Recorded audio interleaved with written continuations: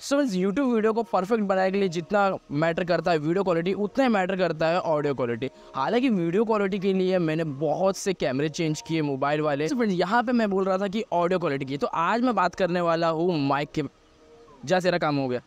सो so, आज मैं बात करने वाला हूँ माइक के बारे में। मतलब आज मैं अनबॉक्स करने वाला हूँ टेक का वायरलेस माइक जो कि मैंने परचेज़ किया है अपने वीडियो क्वालिटी और ऑडियो क्वालिटी को बेटर करने के लिए। हालाँकि मैंने इससे पहले बहुत सारे वीडियो बनाए हैं जिसमें मैंने माइक के लिए कभी मोबाइल का माइक यूज़ किया कभी बोया का B Y M one mic use किया, कभी बोया का B Y M M one mic use किया। मतलब बहुत सारे माइक मैंने चेंज करके देखे और फाइनली मैंने डिसाइड किया कि मुझे लेना चाहिए वायरलेस माइक अब देखो वायरलेस माइक मुझे बहुत पहले से लेना था, लेकिन बजट नहीं था इसके लिए। मैं वायरलेस माइक को मोबाइल की तरह करता था मतलब ऑडियो उसमें रिकॉर्ड करता था और वीडियो उसमें रिकॉर्ड करने के बाद वीडियो और ऑडियो को मर्ज कर देता तो वायरलेस हो जाता। ये है डिजिटेक का वायरलेस माइक जिसको मैं अनबॉक्स करने वाला हूँ और आपको बताने वाला हूँ इसके कुछ फीचर्स और क्या ये एक वीडियो क्रिएटर के लिए बेस्ट होगा कि नहीं? कि करूँगा मैं अनबॉक्सिंग रिव्यू देने वाला और देखते कि क्या ये बेहतर है।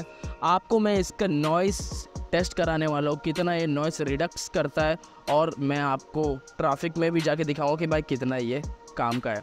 सो so, यहाँ पे आपको देखने मिल रहा है डिजिटक का बॉक्स जो कि वायरलेस माइक का है। अब यहाँ पे आप बैकग्राउंड को इग्नोर करो और यहाँ पे आपको देखने मिल रहा है 2.4 गीगा हर्ट्स का वायरलेस फिर टाइप सी फास्ट चार्जिंग और ultra clear sound 360 sound capture और मिक्सिंग साउंड जो कि बहुत ही अच्छा फीचर है, वो मैं आपको बाद में बताऊँगा। और यहाँ पे आपको डिस्टेंस अप टू 30 मीटर्स का मतलब ये वायरलेस 30 मीटर तक काम करता है। लेकिन इसकी कोई ज़्यादा ज़रूरत नहीं, क्योंकि थर्टी मीटर कोई दूर जाके वीडियो बनाता नहीं है। तो इसको मैं अनबॉक्स करके दिखाने वाला हूँ। अब यहाँ पर आप पीछे भी देख सकते हो इससे कुछ स्पेसिफिकेशन लिखे, जो कि आप स्क्रीन लेके बाद में पढ़ लेना।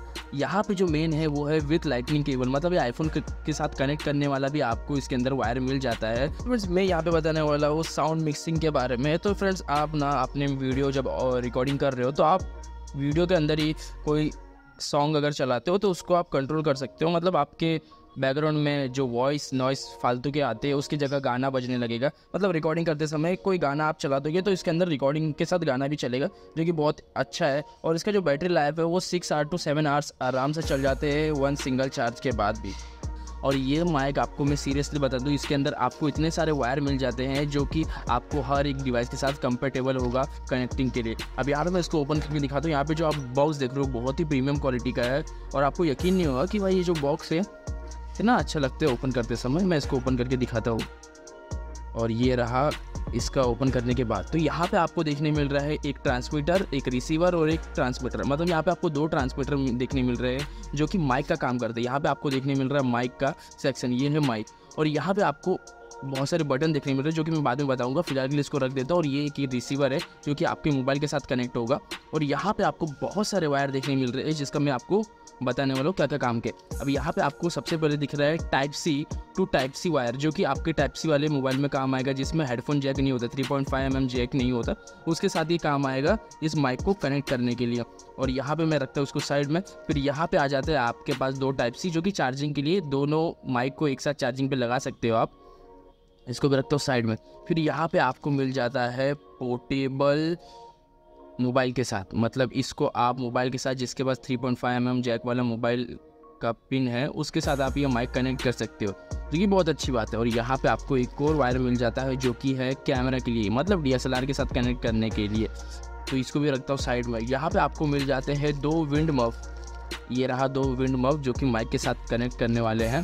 यहाँ पे दो विंड मफ साइड में रखता हूँ और ये आपको मिल जाता है लाइटनिंग केबल जो कि आईफोन के साथ अटैच करने के लिए काम आएगा। मतलब ये माइक सब के साथ अटैच हो सकता है। और यहाँ पे आपको दो ईयरफोन मिल जाते हैं, जो कि मॉनिटरिंग के लिए काम आएँगे वीडियो और ऑडियो को रिकॉर्डिंग करते समय। तो इसको मैं रखता हूँ साइड में। अब यहाँ पे कुछ यूज़र मैनुअल है, जो कि रखना आपको काम आएगा। इसके अंदर सारे स्पेसिफिकेशन दिए बताए गए अब आ जाते हैं माइक पे। आ जाते हैं माइक पे। तो ये जो आपका दो ट्रांसमीटर दिख रहा है, वही है माइक और यहाँ पे आप देख सकते हो कि इसके अंदर आपको 3.5 पॉइंट जैक के लिए जगह देखने मिल रहा है, जो कि आपको वॉइस मॉनिटरिंग के लिए दिया है। मतलब आप रिकॉर्डिंग कर रहे हो तो किस तरह से ऑडियो रिकॉर्ड हो रहा है, वो आप इससे समझ सकते हो। उसको ऑल ओवर अगर आप देखोगे तो प्लास्टिक बॉडी है हाई क्वालिटी नहीं है फिर भी सही है क्वालिटी। और यहाँ पे आप देख सकते हो, इसके अंदर आपको ये पावर बटन देखने मिल रहा है। इसको आप वन टाइम प्रेस करते हो तो ये एक बार को म्यूट भी हो जाता है। और लॉन्ग प्रेस करने पे ये ऑन होता है। मैं ऑन करके दिखाता हूँ आपको। ये मैंने दबाया ये ऑन हो गया। अब आप यहाँ पे एक दिख रहे हो कि ये लाइट ब्लिंक हो रही है। लाइट ब्लिंक किस लिए हो रही है? क्योंकि ये अभी किसी से कनेक्ट नहीं है। और ये रिसीवर है। अगर रिसीवर को भी मैं ऑन करता हूँ, ये वाला बटन दबा के तो आप देख रहे हो कि दोनों का ब्लिंकिंग बंद हो गया। ये दोनों कनेक्ट हो चुके। अब इसके अंदर आपको बहुत सारे बटन देखने मिलते हैं। इसके क्या यूजेस हैं, मैं आपको बताता हूँ। यहाँ पर आपको रिसीवर में एक बटन देखने मिल रहा है। माइनस और प्लस का। प्लस और माइनस से आप अपने ऑडियो को एडजस्ट कर सकते हो कि कितना अच्छा ऑडियो ज़्यादा या कम चाहिए। और ये अगर आप सेटिंग को ना छेड़छाड़ करो तो अच्छा क्योंकि डिफ़ॉल्ट सेटिंग बहुत बेटर होते।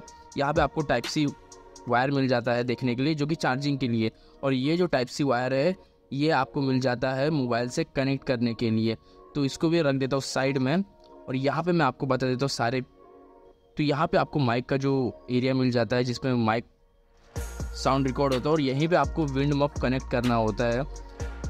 और यहाँ पे आप देख सकते हो, यहाँ पे आपको एक एको का बटन देखने मिल रहा होगा, जो कि यूज़ होता है नॉइस रिडक्शन के लिए। जैसे मैं इसको वन टाइम टैप करूँगा तो यहाँ पे आप देख रहे हो कि जो ग्रीन लाइट था, वो ब्लू लाइट हो गया। मतलब यहाँ पे अभी नॉइस रिडक्शन चालू हो गया। अभी नॉइस ये कैप्चर नहीं करेगा। और इसको अगर आप टू सेकेंड के लिए प्रेस करोगे तो यहाँ पे एको मोड चालू हो जाएगा, जो कि एको का साउंड देता साउंड इफ़ेक्ट कंपनी ने क्यों दिया, मुझे मालूम नहीं, और इसमें भी ज़्यादा कोई फ़र्क नहीं है।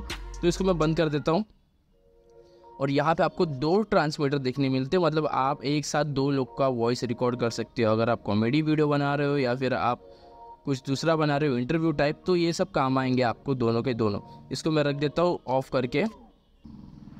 सो फ्रेंड्स यहाँ पे भी आपको देखने मिल जाता है थ्री पॉइंट फाइव एम का। मतलब जब आप ये मोबाइल में कनेक्ट है और आप इससे सुन सकते हो, जो आपका कैमरा मैन होगा, जो वीडियो रिकॉर्डिंग कर रहा होगा, वो सुन सकता है कि भाई जो वीडियो का ऑडियो है, वो किस तरह से आ रहा है। तो मॉनिटरिंग के लिए बहुत अच्छा है प्लस माइनस जैसे कि मैंने आपको बता दिया। और यहाँ पर आपको अटैचमेंट मिलता है, और यहाँ पर भी आपको अटैचमेंट मिलता है। ये मेरे पास अभी type C to type C wire है।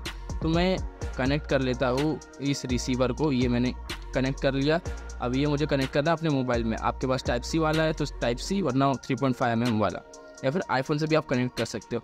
अभी मैं रख देता हूँ इसको और अभी मैं आपको इसके साउंड क्वालिटी का टेस्ट करने वाला हूँ। सो फ्रेंड्स यहाँ पे मैंने माइक को कनेक्ट कर लिया है अपने मोबाइल के साथ। अभी जो भी आप वॉइस सुन रहे हो, वो इस माइक से आ रहा है डिजिटेक का वायरलेस माइक और अब आप देखोगे कि ये जो माइक है, ये नॉइस रिडक्शन मैंने स्टार्ट नहीं किया। मैं बटन दबाऊँगा नॉइस रिडक्शन स्टार्ट होगा उसके बाद आप देखना कि कितना नॉइस ये कवर कर रहा है। पीछे गाड़ी बहुत सारी जा रही है तो आपको नॉइस का अंदाज़ा लग रहा है अभी मैं बटन दबाता हूँ। जैसे मैं बटन दबाऊँगा, यहाँ का जो है, वो ब्लिंक करेगा ब्लू में।